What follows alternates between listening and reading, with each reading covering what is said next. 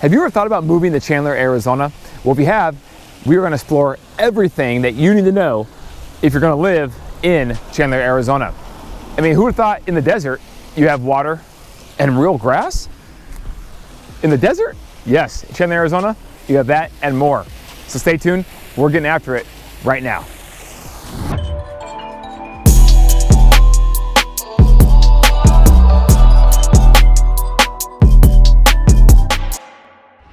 Okay guys, Chandler is an amazing place to live and it's very convenient. Chandler is actually surrounded by three major interstates, Loop 101, Loop 202, and then of course you have the I-10 not very far away. So it's very convenient to get to anywhere you want to go in the rest of the valley.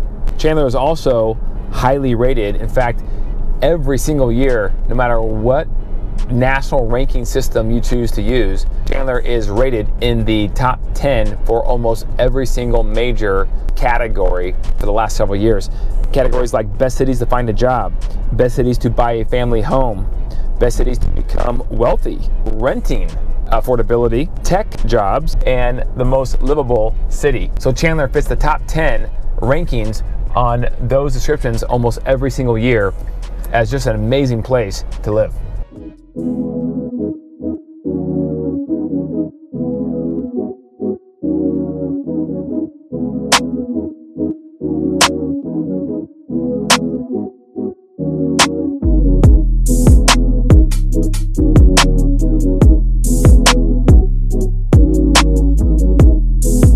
Okay, so the population of Chandler, guys, is 270,000 people.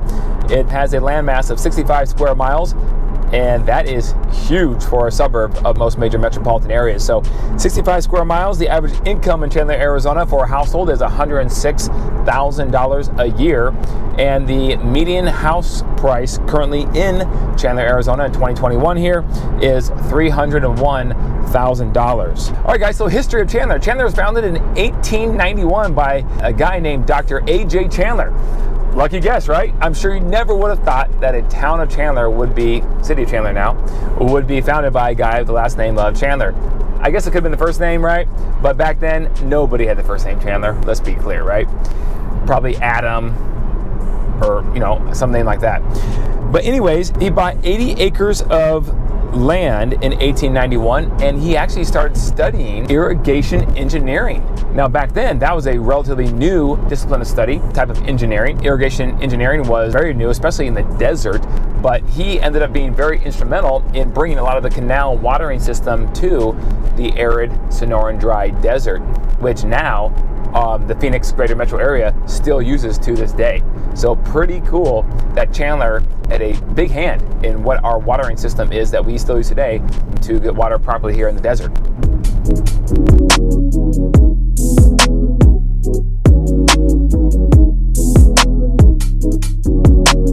Okay, guys, we are filming the Chandler Fashion Center, and you know it's early. It's about uh, 10 o'clock here on a Thursday, so there's not a lot of people out shopping just quite yet. Hopefully, a lot of these people are, you know, doing some work.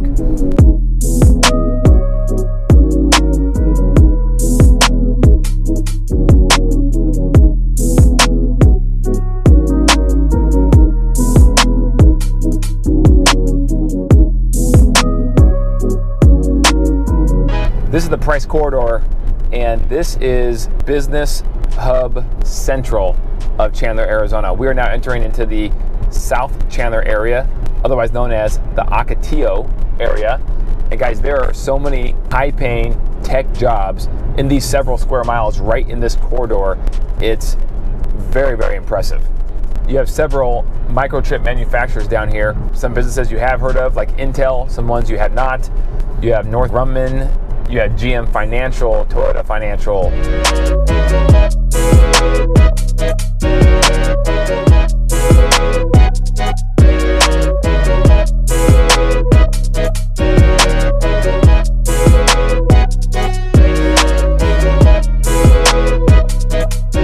Okay guys, so this is the corporate headquarters of Intel Corporation.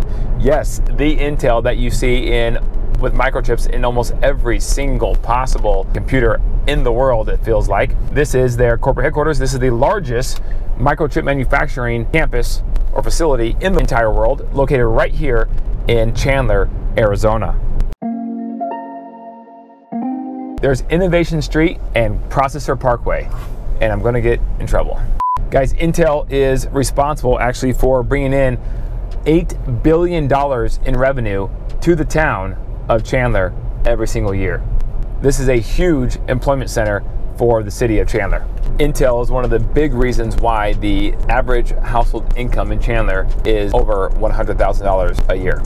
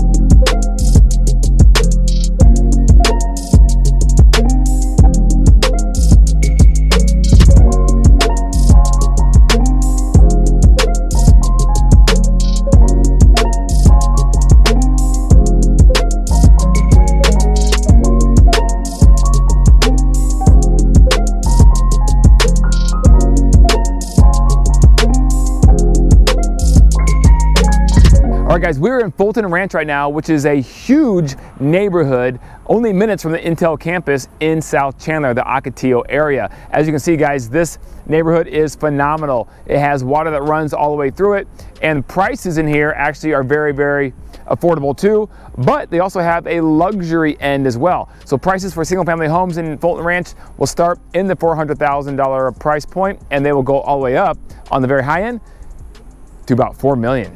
Yeah, so it can get really nice in here. Lots, usually, as you can see, some of these homes are uh, fairly small, you know, 7,500 to 10,000 square foot lots for most of the properties, especially the ones that are lower on the price point. Those lots obviously will be smaller, and they do have larger lots in Fulton Ranch as well. The amenities are amazing in Fulton Ranch. So if you have a family, it's hard to beat Fulton Ranch, guys. And look at this, the serene sound.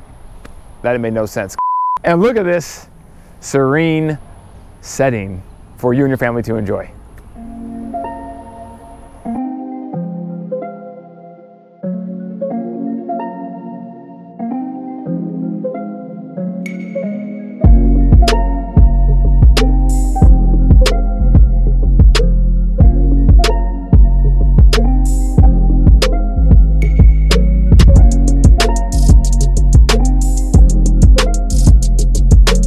Lot of Chandler, Arizona neighborhoods are just like this, landscaped very nicely. Now they are part of an HOA, so you will have to pay dues for that. But the HOA is, you know, around a hundred dollars, or actually a little bit less than that per month. And uh, you get a very nice community to live in, one with amenities and just a lot of family-friendly activities.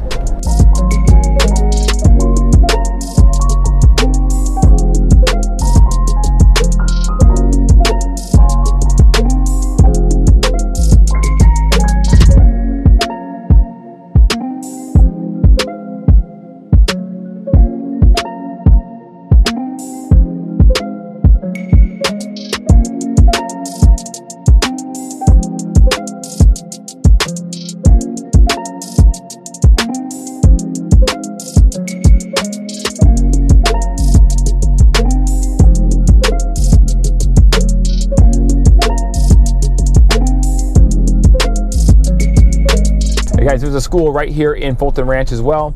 And schools in Chandler are extremely highly rated. So you go to any rating system for schools in Chandler, Arizona, and you will find that it's hard to go wrong. One of the top three districts in the entire Phoenix metro area, located right here in Chandler, Arizona.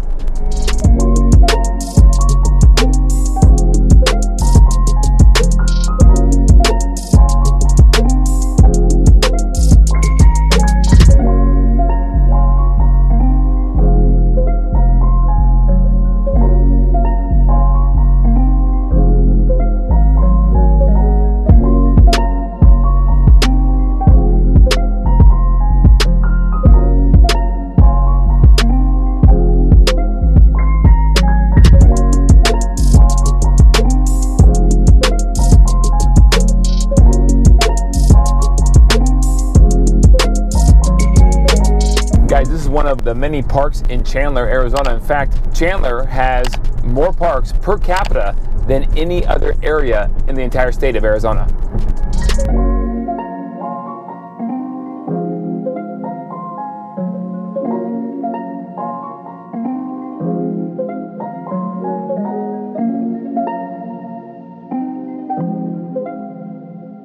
Okay guys, this is Hamilton High School located right here in Chandler. Hamilton actually is a sports athletic powerhouse.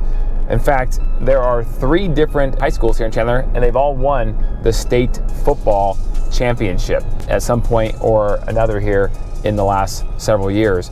So if you're uh, into sports or kids into sports, and especially football, it's going to be hard to live anywhere else besides Chandler because all the programs are great, schools are great, and they win a lot of football games.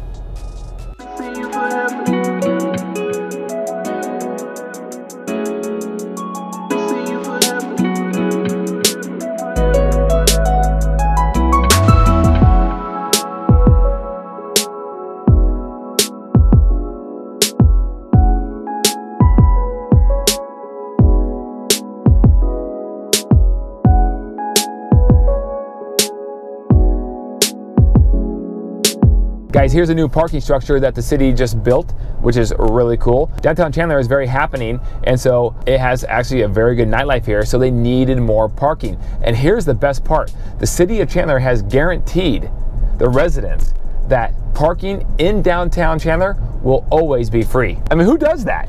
Free parking, especially in a downtown setting? That's unheard of.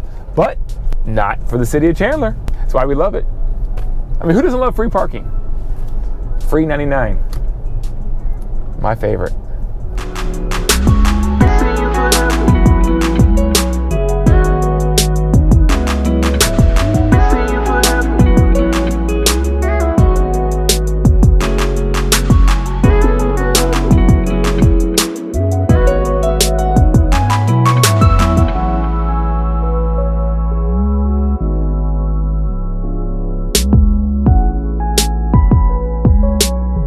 Guys, Chandler also has a very, very live arts scene. Okay, they have the Center for Performing Arts right here, as you can see in the video, and they also have a symphony as well. So it's not all about just entertainment, good beers, and bourbon or alcohol or spirits. It's also about the arts.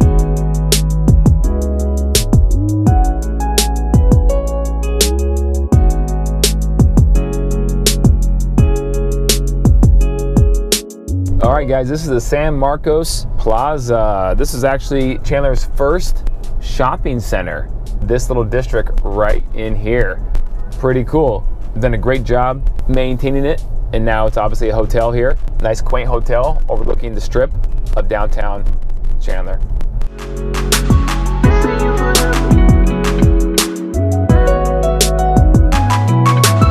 All right, guys, we are actually approaching Santan Brewery right here. One of my favorite beers in the entire world is made right here. It's a nice galactic IPA called Moon Juice. If you haven't had Moon Juice, check it out. They don't distribute nationally, okay? But if you have a chance to go to a boutique wine store, Total Wine, Bevmo, or something like that, maybe in your city, see if they have Moon Juice. It is, mm, it's a nice hazy IPA, very nice. All right, guys, we're gonna take you into one of the best coffee shops in the state of Arizona. You heard it here first. So guys, right here in, in downtown Chandler, this is awesome, right? Because all the original architecture of how the buildings were first constructed have to stay. So look at the architecture here of these buildings It's just really quaint, phenomenal shops, restaurants. And if you uh, want to open a business here in Chandler, actually in downtown, you actually have to get special permitting through the city um, on any changes you might want to make, but they will be very, very strict on the type of uh, architecture that you decide to you know, use or do or construct for the front of your business. Bourbon Jacks. Oh, check this out. We got, dude, this place is amazing. Bourbon Jacks. Check this out.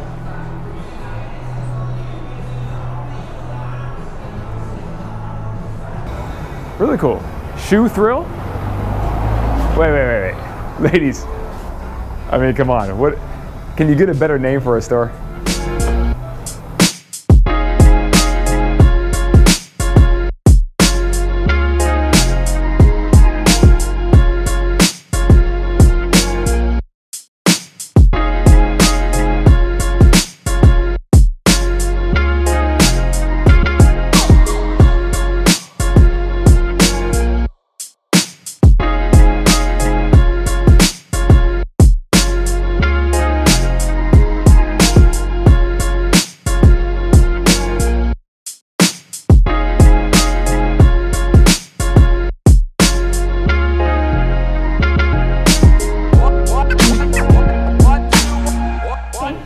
Okay, sweet. So you so this is the crowd favorite, and when the new menu comes out tomorrow for the mm-hmm. fall, what's the number one drink people should know about? Ooh, so I would say our pumpkin one that's coming out is really exciting. Pumpkin's and we're awesome. also gonna have like a matcha that's gonna have pumpkin in it as well. So Really? I mean instead of getting pumpkin spice other places, I would do it here. No doubt. Guys, pumpkin sure. spice or pumpkin latte, whatever, right here. Don't go to Starbucks. Come here. Yeah, support local. We're all about support local in Chandler, Arizona, downtown. Boom. Thank you very much. Very kind of you. Support local coffee shop in downtown Chandler, Peixoto. Peixoto Coffee.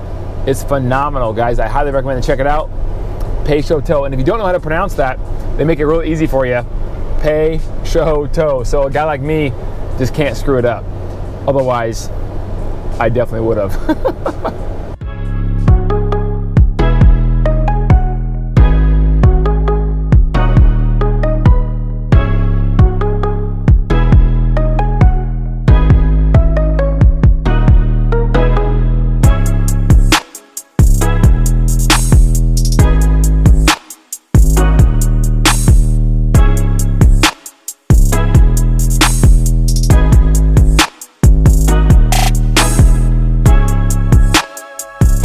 for housing in Chandler, Arizona, guys, you have an array of variety and prices, but it is very affordable. A neighborhood like the Springs here is nice. You do have some lots with water, as you can see. But a lot of these homes will start in the 300s and go up to the six, seven hundred thousand dollar mark, and they are in an HOA. Chandler is a very affordable city with the median price point of a home being obviously just over $300,000. There is a little bit for everyone in the city, and it's very family friendly.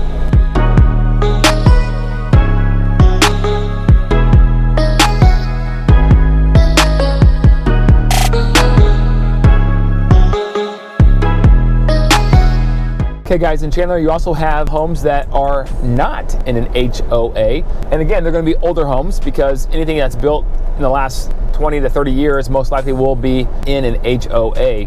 This neighborhood right here is a good example of that. You have homes that are older, no HOA, irrigated lots, which is nice with all the grass and natural grass. But as you can see, they don't have the same aesthetics as the properties that are located within a community that has an HOA. So it's a little bit of everything in Chandler for whatever it is you may want to have. Guys, thank you for joining us on a video of the full city tour of Chandler, Arizona. An amazing place to live, work, and play. So guys, please ring the notification bell below, subscribe to our channel. We're putting out videos twice a week, every Tuesday and Thursday, because again, we are passionate about everything Phoenix, and that's why we named our YouTube channel Everything Phoenix. Guys, if you have any questions about Chandler real estate, moving up, moving down, relocating to Phoenix, and may want more information about the general area or Chandler specifically, please reach out and give us a call at 888 KCREG 11. That's 888 527 3411 or email at info at kellycookhomes.com. We will get back to you right away. And also, leave a comment below, guys. Let us know what you think of these videos. We're trying to improve them. We want to make them as informative and as great for you as the viewer as certainly possible. So please do that. And you can also check our Instagram page out at Kelly Cook Real Estate Group and see what else we have going on where we're doing uploads daily of what's going on in the life of our real estate team and what's going on in the city of Phoenix. Thanks, guys. Have a wonderful day. And uh, don't forget,